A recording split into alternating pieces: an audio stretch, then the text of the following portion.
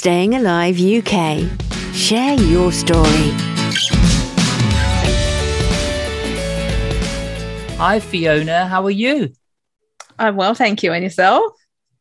I'm really well. And thank you for staying up all the way in Australia to come and chat with me on the Share Your Story podcast. I'm, I'm really glad you made the time. Thank you. Thank you. You are only my, I'm just trying to think, either second or third guest, Australian guest. Um, I've not had that many, maybe because of the time difference, I guess. Um, but um, I've I've been there many years ago, just the once on the Gold Coast um, for a, a, Tony Robbins event, um, and yeah, that was the only time. It was only like a very short time, like a week, uh, far too short. And then I went to New Zealand for like 10 days as well. But um, yeah, it's it's a, just a it's literally for me when I went there, it was like walking on a different planet. Mm. It was so literally different. the other side of the world, and it's like a whole different place. It's it's a totally different place, not just the weather and the but the whole the culture, even the cars look different. And I'm like, it's so weird, you know. I really felt like I was on, I'd landed because you have to travel for so long and I'd landed in a totally different planet. Anyway, it's not about me. This podcast is about you. so I'll ask the first question I ask all my guests, and that is please tell the listeners a bit about you. Uh, where were you born? Have you moved around? A bit about your education. Um, you know your career whatever you want to share and then how you got into your own business and we'll talk about your business and what you're doing in that as well so i'm just going to listen and sit here and listen to you fiona so over to you lovely all right so i am actually a very true outback Australian. I grew up in a little town called Broken Hill, which is in very far western New South Wales. So if you think about the map of Australia, it's not quite in the middle, but getting getting pretty close to it. So wow. lots of red dirt, kangaroos. Um, there was there was always brown snakes in our backyard when I was a kid in the summertime. Um, you know, our, our fun Ooh. was, um, you know, ch- chasing sleepy lizards and, and, um, you know, the, the boys at school would always bring them in for show and tell and try to scare the girls with the, with the lizards it was always quite amusing. So that was, you know, the fun of growing up somewhere that um, was was very out there. In fact, it's it's quite a quite a famous town for um, movies. If um, any of your listeners have ever watched Priscilla, Queen of the Desert, that was literally filmed when I think I was in maybe my last year of high school. Right. So yeah, lots lots of red dirt and you know, I, I'm old enough to remember times before the internet. So very yes. remote. Our closest capital city was Adelaide at about five and a half hours drive away. So whoa, yeah, very remote. and and are you afraid of snakes? Look, they don't bother me. Look, I'd prefer for them to go and do their own business wherever they're going to go, and um, I'll do do my business somewhere else.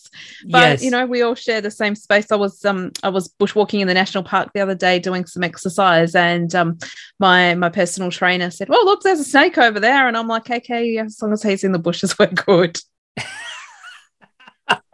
yes, yeah. Oh God, I I think they're beautiful creatures, but I I if I see one, well, I I have seen one long time ago, and it, yeah, I'd rather have them behind kind of glass. the problem with them all over here is most of them are going to kill you. So yeah, that's it. they're, they're oh, certainly God, not your friendly yeah. kind. no, no, absolutely. Okay. Wow. So, okay. So Go growing ahead. up out out in the outback, um, you know, added bonus to that, I guess, was um, you know, I had a pretty pretty much normal childhood up until um, sort of maybe I hit high school, and then sort of I guess things became a little more complicated in the sense that I think, you know, all of us get to that teenage years and we start to question our identity a little bit and kind of try to work out what it is that we want to do and where we want to be.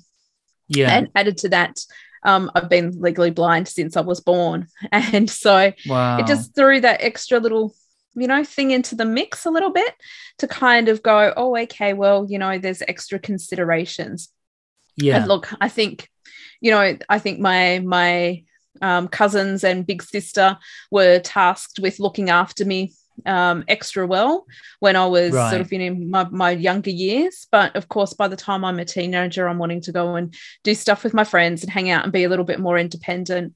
And Yes. I do remember a story first night that we went out with my um, my friends. We thought we were so cool. We would have been about 13 or 14 at the time, and we decided we're going to go to the movies.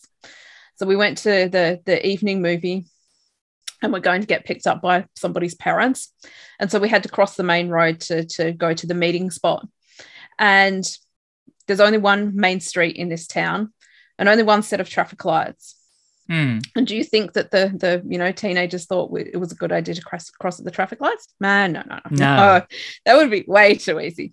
My friends are like, "Come on, let's just run across the road," and I'm like, Hmm. okay look come on there's, there's not that much traffic in this town it's but you guarantee that yes there was oh look there's a car coming we we need to run rather than just take it casually yeah. so someone grabbed my arm and off we run except they forgot to tell me that there was a median strip in the middle of the road so now i'm laying on the middle of the ground on on the road and the friends have run to the footpath on the other side and then one of them uh, kindly came to come and pick me up i guess Yeah. and i was mortified i thought oh my goodness me like this is horrific the whole town has just seen me fall on my face in the middle of the main street and in fact you know it was something that I probably internalized more than anybody else, Yeah. and you know, no one really cared. But for me, it was like this point of, wow, can I actually do the things that I want to do in life? Because all of a sudden, Yeah.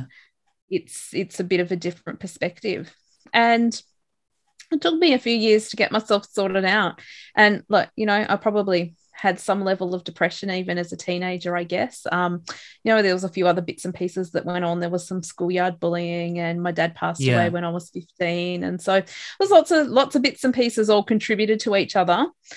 And I got to a point where I went to um, to visit a teacher one day, and I, I had to give a presentation, and I said I need to know about suicide, and he just kind of looked at me and went, "Do you want to know for yourself or to help other people?" And I kind of pondered it Mm. for a moment. I went, Yeah. "Oh, actually, I want to help other people," and that was the moment that I realized that I actually did want to help other people, and I could utilize my story and my experiences to help other people that were, you know, dealing with significant challenges in life. So and what age were you again? Probably about 16 then. At 16. Yeah, you yeah. got that so- realization. pretty, that pretty is- huge. Yeah. That's insane. I mean, to get a calling at 16, yeah, that's ridiculous. And and you know it was it was a great opportunity i'd actually been um, not so long before on a uh, a blind camp for um, other teenagers and we did all these Hmm. recreational activities you know things that that you know really push you outside of your comfort zone things that other teenagers that were fully abled were doing i mean we were abseiling and water skiing and horse riding and you know everything that you could you could think of Yeah. and I, I could see that these kids that um you know a lot of them had better coping strategies and skills than what i did. And i was a real i guess bonus to be able to see other kids that were managing better. Because of course growing up where i did i had never experienced anybody else with the same disability. And so No. it was it was a real opportunity to sort of realize okay well this doesn't have to stop you. In fact you just make it work for you and think outside the square. And so yeah that was i, went- went back from um you know the the camp and really knuckled down at high school and and off to university i went and i think i had a plan for every letter of the alphabet a b c d e f g to make sure that i got out of my country town and Yeah. I ended up moving to Sydney. So a week after my 18th birthday, I caught the train to Sydney with my suitcase and a couple of boxes of stuff and set myself Yeah. up in a little apartment and put myself through university. And um, yeah, that was that was the beginning of um, you know social work degree, and I guess a good ten years of living in Sydney. Wow. So yeah, and I got into um, it was it was by accident more than anything else. I was attending uni quite a far away from where I was living at the time. My my ex husband. Yeah and I decided that we are going to move in together. And I thought, okay, well, that's okay. I can travel to uni. But when it came to doing my um, my practical hours, I thought I don't want to travel all the way to the other side of Sydney to do my practical hours every day as hmm. well. Mm. And yeah. so I just kind of picked a um, a place off of the list that had a, a location that was much closer to to where I was living, where I could I could do my hours. And yes. it turned out that it was a HIV clinic. And I loved it so much that I stayed as a volunteer the rest of the time I was at university. After oh, uni, wow. I worked um, in a call center for about six months and then got my, myself a job back at the um, the HIV clinic and worked there for nearly 10 years and absolutely loved it. Gosh. It was, it was a bit of an eye opener. Um, I can imagine, you know, yeah. Um, and answering uh, people's questions. I was er, initially working on the HIV information line, and so people would ring up and say, "This is what I've been up to. Do you think I should go and get a test?" And it'd be like, "Okay, yeah, your risk is this or that." And so yeah. I, I can tell you, I got I got a pretty good life education at eighteen or nineteen when I was doing that. Gosh, yeah, definitely. I mean that that to get an insight into those kind of things, it it it allows you to really see, you know, human suffering mm. uh, firsthand. Um, and and you know, once it? again, to to really use those skills in being non-judgmental. Like it doesn't matter, yeah.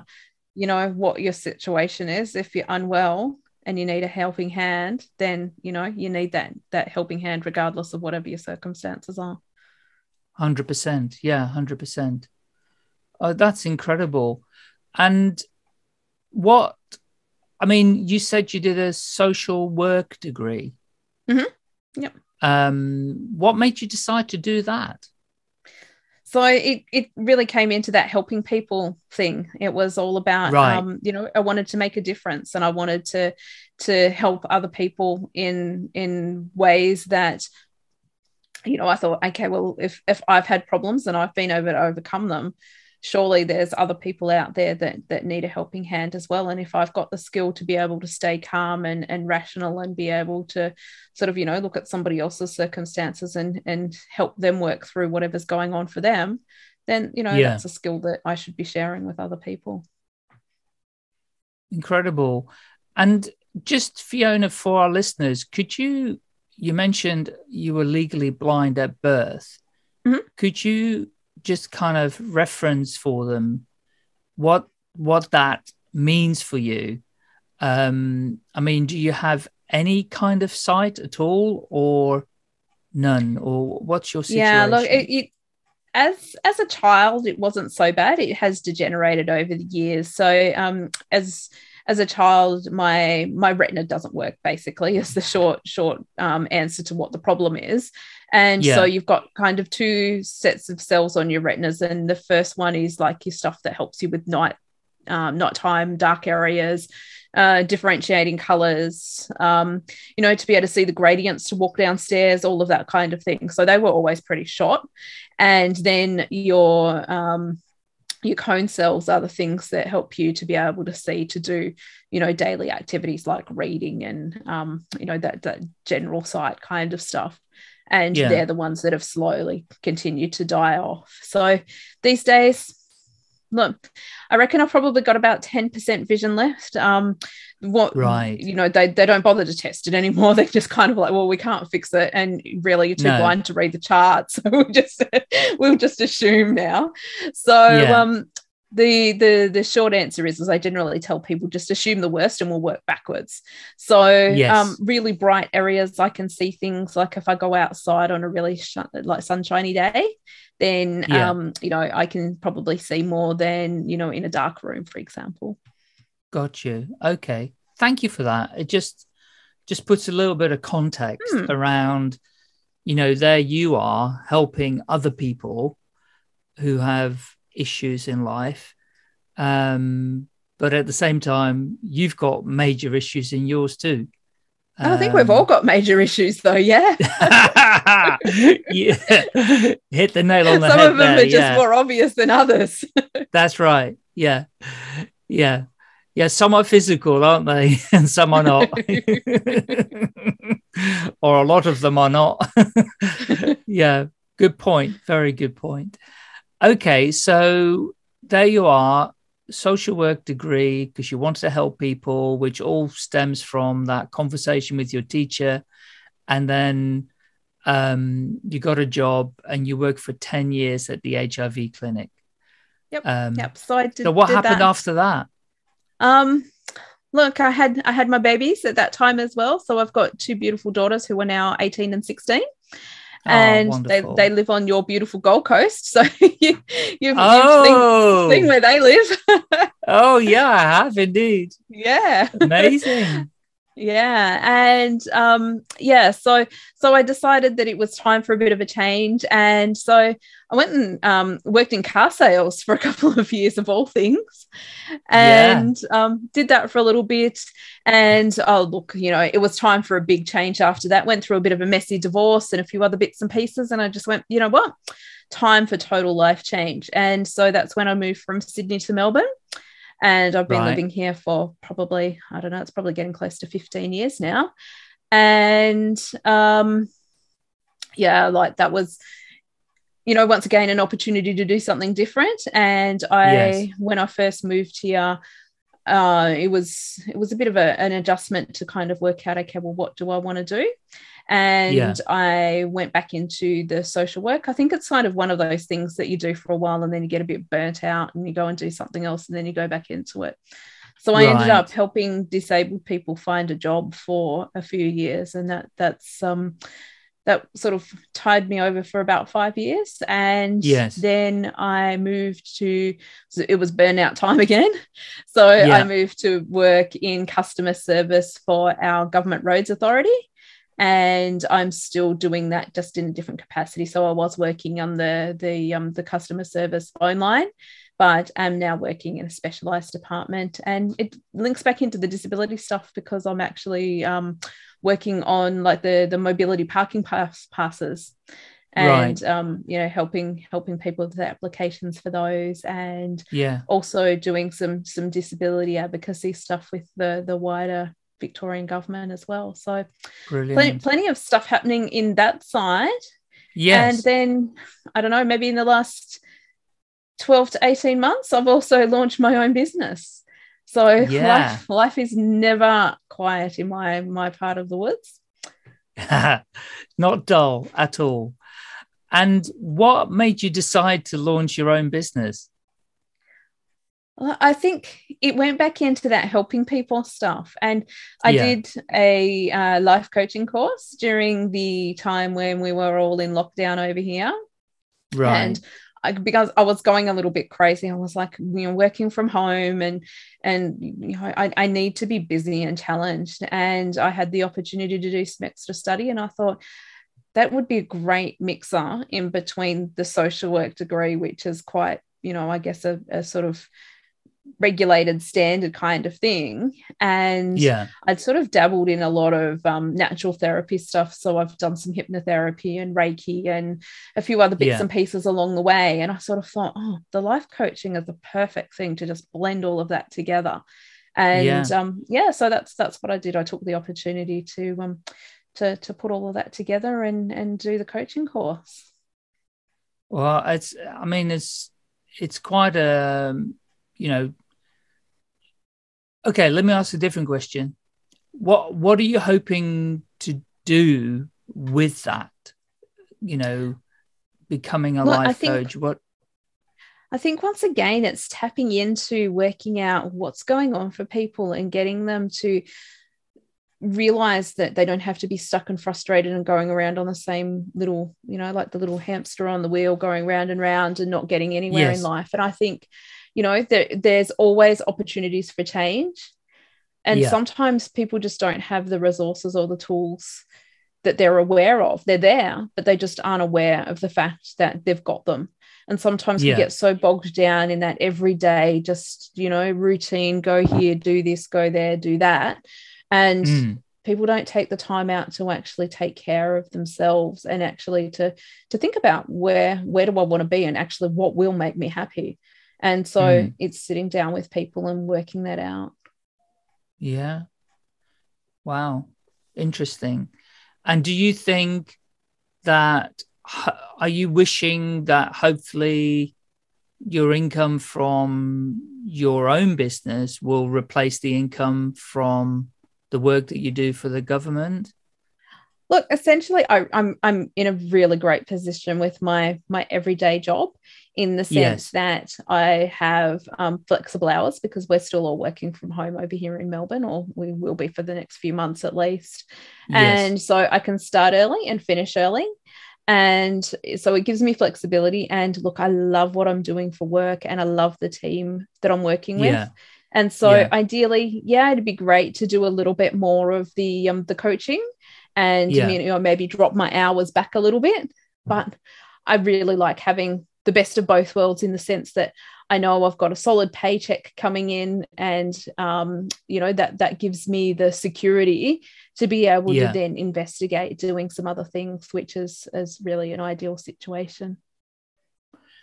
I think I think you're right. You know, I mean, it, it this is this is the perfect interview for my podcast, and I'll, I'll explain why. It's when I set this up some years ago, I wanted to interview people who had set up their own business and listen to their journey on how it all got started.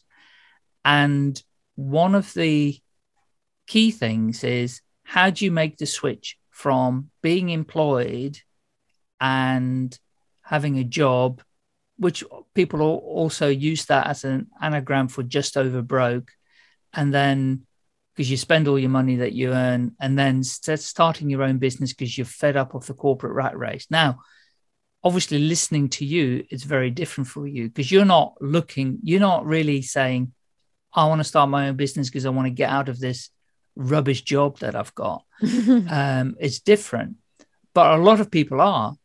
Mm. But the big mistake that I made and lots of other people make is there's an there's a cutoff. You kind of go, stop my job and start my new business.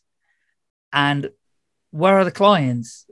you know, Mm. it's like I haven't got And any you're stuck in limbo kind of while you're waiting for that that client base to grow enough that you can substantiate your business on its own and then That's you're kind right. of going whoa and and and um, you know it must be extremely stressful and you know that's one thing that i i sort of didn't want to add was additional stress in my life like i'm i'm i'm you know i'm trying to do everything to create less stress and to help Yes. other people be less stressed and so Mm, being really stressed myself about where my financial situation was going to sit or you know where that next client was going to come from and when the phone was going to ring to have another booking you know it wasn't wasn't something that i really wanted to to bring into my life and and that is brilliant. Well done. Congratulations. It's it's excellent. And it will be that because isn't there on the on the life wheel, isn't there a segment around finance or wealth or whatever? there is And yes. you know, you're looking after that, aren't you? You're saying, well, I'm basically you're eating your own excuse the the phrase, but it's a it's a good phrase to explain what you're doing is that you're eating your own dog food. Mhm. Um, because you're saying, yeah, that's a priority, and I'm going to keep that segment of my life wheel, you know, in a good position. Yeah, brilliant. and you know I it's not think without goals yeah like i mean one of my Mm. goals unfortunately is that well fortunately it gives keeps me driven is Yes. that i have i've set my mind on um we were we were renting a house on the other side of melbourne in the inner east yes, and so I, I don't know a comparison to be able to to give it to you locally but i mean you imagine like you know quite posh close to the city kind of old school kind of money and hmm. i absolutely love the community feeling it was just a really nice environment. I love the convenience where you could just jump on the tram and go into the city and everything's lovely. And I'm like, okay, I need to move back here. And so at the moment, we're living in a house that it is enabling us to save our dollars. But at the same time, the end goal is to buy a house back in that other other area. Yes. And unfortunately, the, the minimum house price that we would be looking at is about $2 million. So, yeah. you know, it's it's one of those things that's like well unfortunately the housing market is is pretty extreme here at the moment. And mm. you know if that's that's the end goal then looking after my finances is something that i need to do. Yeah. Excellent. Well that's that's a great goal to have and a you know a great vision to have as well and hold on to because that that mm. drives you. You know um i'll just lift my t-shirt because you'll see the word i don't know if it's mirrored on your side but it says why um, yeah. you you have a a, a great why um, because Absolutely. that drives you to you know move in the direction that you want to move okay mm-hmm. so so tell us a little bit then about okay, you have a business. I've seen your website. You have a website. How are you finding clients for your new business? How how's it working? How's it going? Well, I'll be honest, it is a little bit of a struggle. It's like any startup, it's like where where are the mm. people? And so, yeah. look, I'm very lucky in the sense that I do have this this disability background, and so I can tap into, um, you know, the specific niche of people with disabilities, and yes. um, especially relate that to things like job coaching, and um, you know, facilitate, you know, that that life changing idea of of people who maybe didn't think that they could get a job because of their disability and and okay well let's work around the mindset and then yeah. um, you know utilize some of the resources that are out there to actually make that happen and so that's that's one of the things that i'm i'm working with at the moment um, and you know just picking up clients from from wherever i can like uh, you know doing the social media thing and and you know offering i'm, I'm running a 10 week course for an organization at the moment um, and i'm just doing that as a, a volunteer thing. And you know like it, it's benefiting me too because I got to to put my course together and structure it and do a you know 10 week group coaching session with some people and so yeah. they're they're kind of like my guinea pigs. And so you oh, know it, it, works you know both ways I guess. And so yes. you know just working out those those things that I can do to sort of you know refine my own skills while I'm I'm sort of you know looking for those extra people. And look they'll they'll come along as it as it happens you know i don't i don't necessarily want to be filled up with you know 40 clients a week. That would probably no. not be very ideal either. No. And so you know just uh just sort of you know go go at it as it as it happens and you know let it build organically i think is really important. And i guess is is one of your strategies because obviously you found this podcast is it to go on podcasts as well Mm, yeah, absolutely. I think, you know, the more the word gets out there, the more people get to know who I am and what I can offer. And, yes. you know, I think that that makes a big difference. And um, I've also been doing a lot of, um, you know, presentations for community groups, things like Rotary Club and stuff like that to sort of, you know, once again, to kind of get the word out there and say, hey, look, you know, and even just to, yes, you know, I think it's, it's, using some of those coaching ideas in essence to just help people to to think differently i mean we've all been in this this really strange world situation over the last couple of years in terms of you know people dealing with a different lifestyle than what they've been used to and mm. you know to to be able to get people to think differently about the challenges that they're faced with in life and you know to realize that no matter what adversity you face that there's always some kind of silver lining in that cloud. And even though it may be really difficult to see at the time, there's always something that you will get out of that situation. And you know, it might be extra strength, it might be just knowledge not to not to do that same mistake again. But yeah, you will always get something out of every situation and learn to be, you know, resilient and to actually work through those situations that you are faced with. And, you know, instead of I guess, you know, a lot of people have been sort of moaning and groaning a little bit about oh, how terrible things are. And well, we're in lockdown and I can't do anything and I'm, I'm missing mm. out on all the things that I want to be doing. Yeah. You know, to, to try and get people to to think a little differently and flip that and go, okay, well, you know, yes, there's things that you can't do, but let let's focus on what you can do because right now, let's work on yeah. the things that you can change, not the things that are out of your control. Yeah. No, that's that's great advice. And I mean, they have said, I don't know about you guys in Australia, but they've definitely been reporting on this in the UK that, you know, mental health, young and old, mm. is going to be a major issue going forward as a result of this pandemic.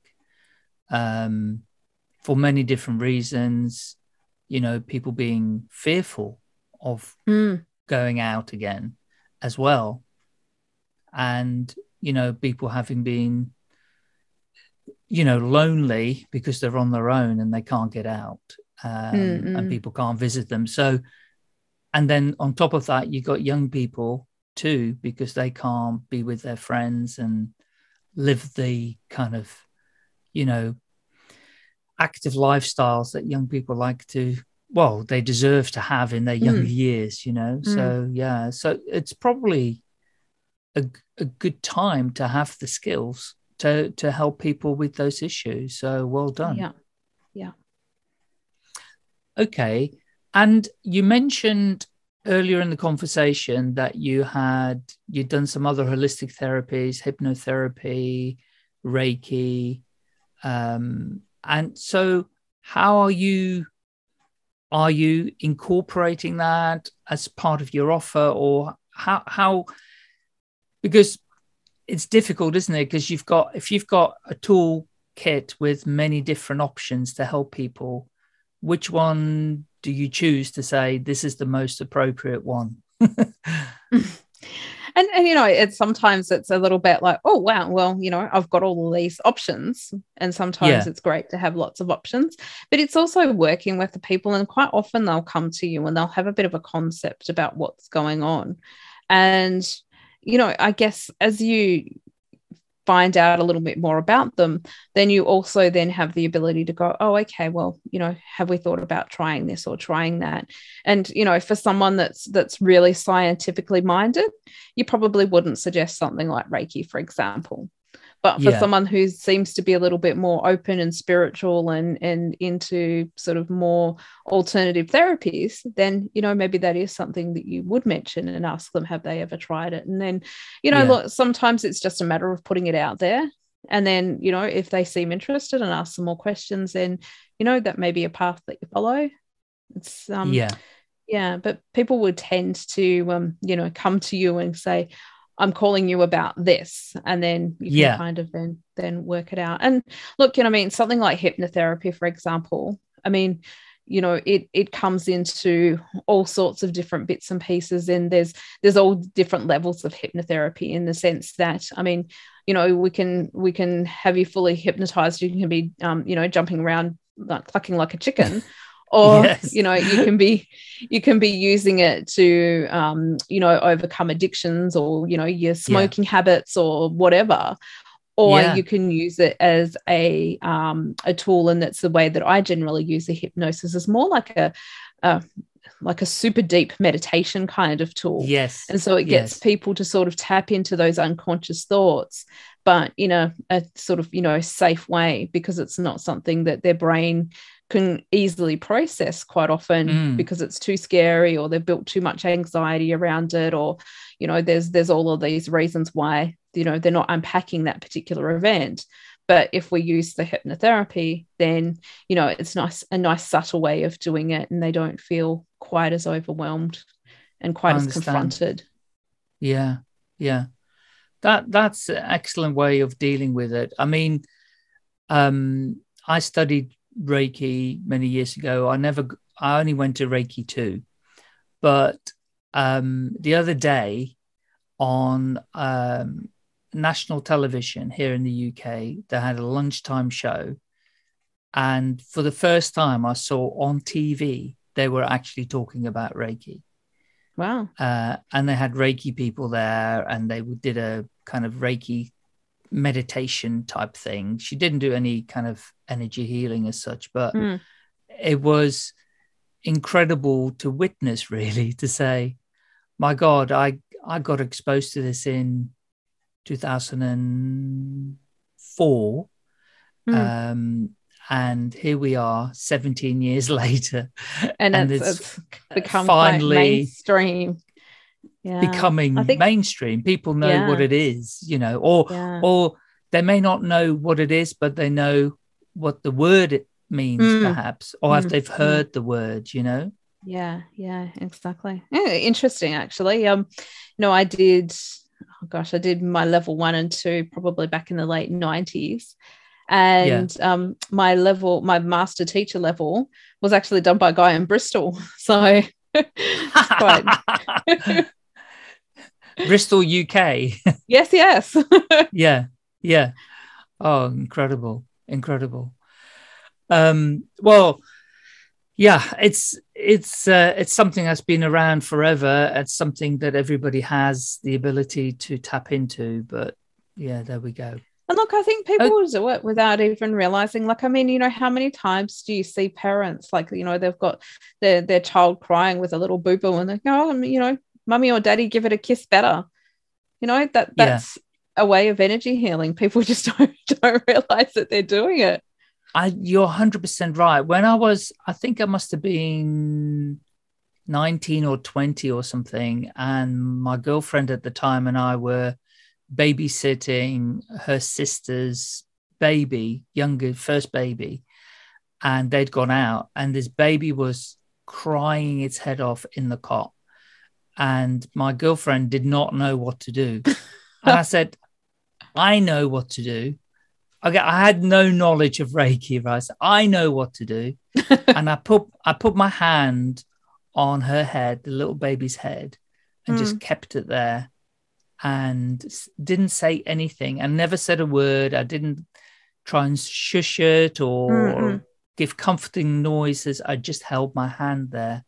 And literally within 10 seconds, she stopped. Wow. And I went, yeah. Amazing. How did that Yeah. work? you know, it was only years later I realized what I was doing. so um, it's it's fascinating, fascinating. Right, Fiona. What else? What else are you up to? Is there anything else you would like to share with me? What else am I up to at the moment? Oh my gosh, my biggest thing is I'm I'm trying to um I guess show people a bit of an insight into my life because I sort of constantly have people go, "Oh, oh wow, you can you can do that." And it's Mm. like, yeah, that's just kind of normal for me. Like um even even yesterday, I um because we've been in lockdown for so long, I thought, oh gosh, I'm I'm not going to even bother to try and go to the hairdressers. I'm just going to dye my hair myself because you know I'm I'm not not too afraid to mention that there's there's grey shining through, and um, so oh yeah, I know off- the off- feeling. off- off we went to the chemist on the weekend, and um, you know pur- purchased a box dye, and yeah, um, you know, do it, do it yourself at home hair dye. And I said to, you know, my workmates as I was finishing off work yesterday afternoon, they're like, oh, you know, I said, what are you going to do? And I said, oh, yeah, today, today, today's, you know, hair dyeing day. Like, well, what? like, how do you do that? And they don't even like, I mean, they couldn't even have a concept of trying to do it themselves, even with good eyesight, let alone, let alone I trying know. to do it without being able to see what you're doing. And so just little things like that that I think, oh, you know, I just do that without even thinking about it. But most people Yeah. are just like wowed by it and going, whoa, whoa, how, how do you do that? And Yeah. so um yeah, that that's my thing at the moment is is trying and look, trying to teach like it's like trying to teach an old dog new tricks when you're trying to learn Instagram. I'm like, Instagram wasn't wasn't my generation really. I'm no, I'm the Facebook generation, but not not Instagram. And so I'm just like, you know, it's it's really hard to be mindful of, oh, you know, what what what do I need to be doing here to make this work? And so Yeah. um, I've been doing um, lots of lots of personal training and um, you know going for going for the walk in the national park and and um, my aim is to run up the hill at the national park by the end of the year. It's quite a steep hill, so at the moment I'm Yeah. huffing and puffing just by walking up and down it. Yes. But um, you know, just little bits and pieces like that that I'm going, oh, okay, yeah. Remember to take a photo while you're doing this. And fu- funny story, I'm doing um uh pole dancing fitness as as one of my you know crazy exercises. I figured okay. I wanted to I wanted to do dance class, and I thought, Yeah. well, you know what? Like hubby, hubby's not real keen on the whole dancing thing. And I thought, well, you know what? Like if I do pole dancing, then at least my partner can't run away from me. At least I know where they are all of the time. So Yeah. I figured I figured let's do that. And I tell you what, my goodness, like it's hard work. Like, you know, it's it's not I as easy as it, it's not as easy as it looks. Definitely but, um, not. the the support girl worker that took me to class this afternoon that drove me over there she's only about 20 and i handed her my phone and i said oh yeah take some photos so i can put them on instagram later she handed my phone back at the end of the the session and i she's taken like a hundred and something photos and i'm like yeah, see, you're the Instagram girl that is in the right generation for this. Yeah. I would have taken like four and gone, okay, yeah, That's one of those right. will work. yeah, that's right. Oh my god. so so yeah that's Ah. that's the antics at the moment is um you know and of course because we're just out of lockdown now it's like oh, Mm. go and do all the things like I've I literally made myself a list this afternoon of about oh, probably about 30 or 40 things that I want to go and do Yeah. everything from doing I, I went skydiving when I was quite young and I'd like to go Yeah. and experience that again so Wow. um you know I want to do that right through to um you know just uh, you know weekends away and places to go and visit and um you know uh, there's a there's a couple of places that I've found that have got like the the little zip line things and Yes. all sorts of bits and pieces. So I'm I'm I'm planning lots of adventures over the next few months to um, you know, go go and explore the world again, which will be which will be lovely, rather than being cooped up in our little our little zone of where we're allowed to travel. yeah. Yeah. And of course, one of those things does does include a trip to the Gold Coast in the new year to um, spend some some time in the sunshine and catch up with family. Oh, wonderful. That sounds amazing. Well, your kind of adventure mission, all these adventures, etc., is is incredible. For I mean, it would be difficult for most people to do who are have got normal eyesight, let alone who've got limited eyesight. And you know, it does show you that if you put your mind to it, which I guess is what you are all about, not just being able to help people, but you're kind of walking the talk. Mm. Um, that if you put your mind to it, you can achieve anything. Yep. Um, and you know what? Sometimes it's it's about following a slightly different path. Yeah. Like instead Yeah. of going down the road that everybody else follows, you know, maybe maybe it's a bit of a swervy, swervy side path, but um, yeah, you know, you get there and and you know, look, it's it's it's just um yeah, I think I think we all need to um you know, I certainly live in the moment and be grateful for what we've got um, Yes. as well as as setting goals and things for the future. And and i don't know just to um you know push push those boundaries of the comfort zone and try and try and learn and experience something new every day. Yeah, because you know we we really don't know what's around the corner. And so you know there's there's always the opportunity we experience new things rather than looking back with regrets and you know look if you screw it up then at least you know you gave it a good go that's it. I've had plenty of those on the way. there, there is no such thing as failure, is there? It's always learning. There's only learning. absolutely yeah Yeah. Yep. Yep. There's only and, learning. and you know if you're having fun along the journey then you know that's all you need to worry about and and look in those moments that aren't fun then you just go okay well you know this is this is giving me the contrast to when things are fun because everything was just boring and normal and you know down a straight line and we didn't have Yeah. those ups and downs if we didn't have the down parts we would never really experience what those up parts really were Hundred percent. Yeah, I agree. Yeah, well said. Definitely. Okay, Fiona. So tell us where people can find you, uh, your website, and any social media you'd like to engage with people. I'll put it in the show notes as well. Lovely. So the easiest way to think about me, first of all, is so I'm Fiona Demark. So it's like Denmark without the N. Yeah. And so the website is fiona.demark. No, try that again. Let's go back and we'll we'll we'll fix that up. You can tell you can tell it's getting late. yes. So www.fionademark.com.au and the um, Instagram is fiona.demark blind Right. inspiration. And I'm also on Facebook at Fiona Demark as well.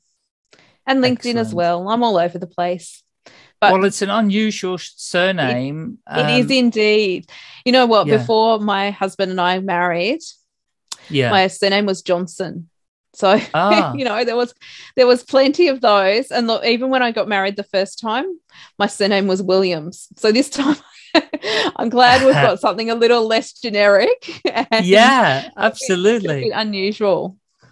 And do you know? Does he know where Demark came from originally? Yeah, it's um, probably got its origins in northern France, and it was probably like D, maybe apostrophe M A R C to start off with. So right. or maybe even just the D E separated from the end part. Which is but, what my um, name is, Mm, which is DE separated from Groot. Mm. So, and yeah, yeah. some of my forefathers, mothers, I, I've still got to research it. We're also connected to France somewhere. yeah, So, yeah. yeah, So I think that that's interesting. where it interesting. originated. Yeah, Yeah. But, um, yeah. So so yeah, literally every everyone with the same surname as a relative, which is kind of cool. Wow. that is very cool. Yeah. Yeah. Incredible. Fiona, lovely to speak with you. Thank you. Thank you for staying up so late as well. I really appreciate it. Um, if you ever come to the UK, let me know. I certainly will. Um, that is one of the things on the on the list to do. Maybe not Right. quite the, the immediate adventure list, but No. um, certainly I do have um, my, uh, my my heritage. Uh, my dad was actually born in Scotland, and so Ah. at some point I would very much like to to come over and and um, you know have a look around. I was I always grew up as a kid like loving everything that was English. Remember there was um Oh, the the the TV show, the Bill, the the the cop yes. show Yeah. that was Yeah. that was obviously you know my my generation and i used Yes. to you know avidly because we only got our, our two television channels out in the the little town that i grew up in and so Right. you know that was our our bbc equivalent they used to you know play it on the what we call the abc and so every saturday night i'd be i'd be watching the bill and and thinking I love those cool accents and everything's so cool. And one day I'm going to go over there and not not Oh, happened yet, but you know, one day it will. I'm sure it will. Yeah. Well, if you do, do let me know and maybe we can catch up somehow. I will Uh, certainly look you up. Oh, bless you. And thank you so much for coming on the podcast. I really appreciate it. Take care. No worries at all. Thank you. You have a Bye lovely day. now. Thank Yeah, you. you have a lovely night. If you've enjoyed this podcast, please rate, subscribe, and share at will. I'm always looking for more listeners and guests, so do get in touch, please. You can find me pretty easily by searching for Staying Alive UK. Thank you. Staying Alive UK. Share your story.